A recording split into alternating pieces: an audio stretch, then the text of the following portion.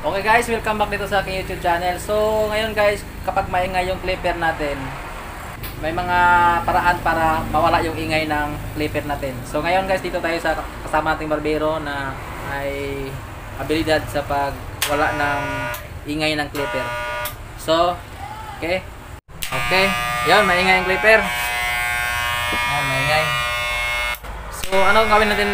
Ano ang dapat natin gawin guys? So okay guys, buksan muna natin yung alisin muna natin itong blade natin. Yan, para malagyan natin ng tapal yung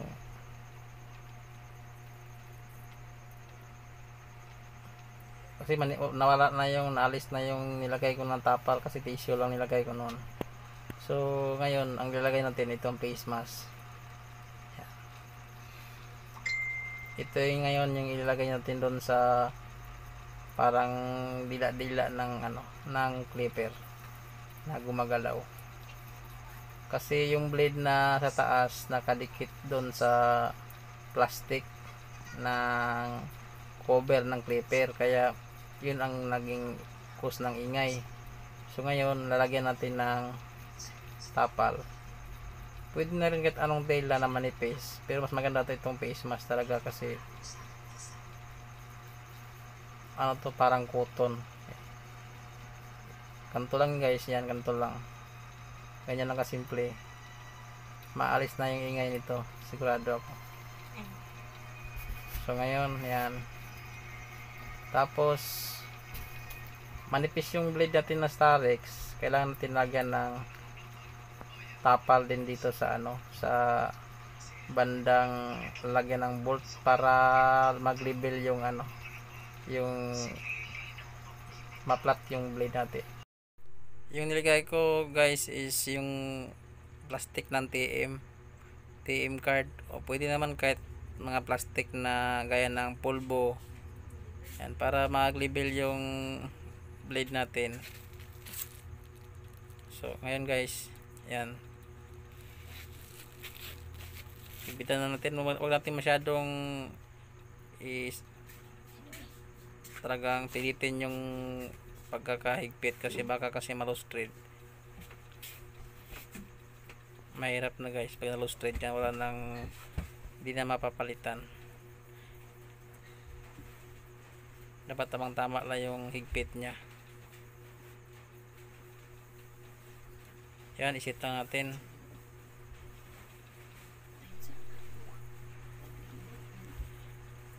okay lagyan muna natin ng oil para madulas. Okay try natin guys kung naalis na ba yung ingay. Yon wala na yung ingay guys. Nawala na yung ingay. Ano pa bang mga dapat i-check pag pamaingay yung clipper? Pag may yung clip eh, sapon. Tagalin mo na na ito. Okay Mga mga kurente tayo, mahirap na. Open, open.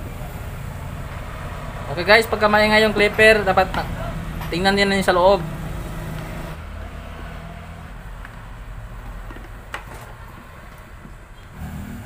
So ito part, ito part, ito part. Yung dalawang ano na yan, yung dalawang screw na yan. Dapat pagka maluwag, di ba, maingay yan. Oh, pag ito, pag maluwag, maingay ito. Dapat palaging makacheck. O, dapat i-check mo yan, Oo, yung lagi. dalawang screw na yan na dapat kailangan kailangan ma, ano yan, maigpit yan. Kung may ito. Pagka ano, ito ang birama laging masira pag ano, pag maluwag, mabilis ma loose trade. Ito yung pag yung clipper, ito tang tanggalin muna ito. Tapos paluwagan ito. At ipos pababa para didikit yung ano niya. yung moving blade. Oh, yung moving blade dyan sa baba para hindi maingay. Ito imposible mag pag umangat na siya to sa taas, sigurado mag-iingay yan. Ito yung number one na kailangan yun.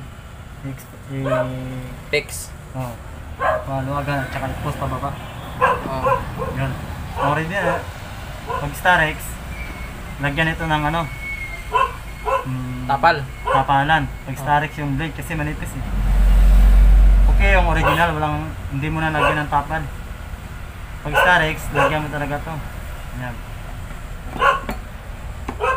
So yun lang guys ang mga ano mga kailangang ayusin pagka yung clipper natin ay maingay. Minsan sa wiring din. Sa wiring din minsan.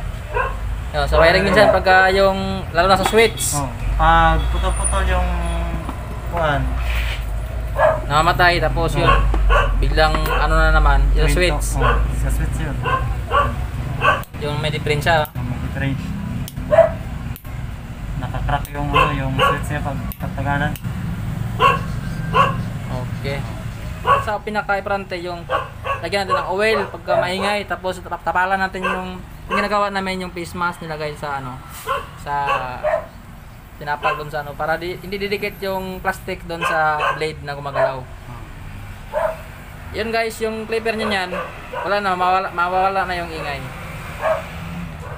Tapos guys, pagka nag ano kayo, nag ano kayo ng mga screw na to, nag naghigpit kayo. Wag niyo wag niyo masyadong higpitan kasi pag kasi baka malos thread. Yun, ito rin yung cause ng ingay, yung mga ano natin, yung mga bolt na, yung mga screw na to. Yan. Wag niyo masyadong i-persahin. Yung tamang-tama lang yung ano, yung ano niya.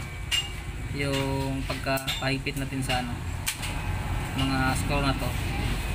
Yun guys, sana nakatulong to sa inyong video na to. Okay guys, maraming salamat. Huwag niyong kalimutan mag-subscribe sa aming YouTube channel.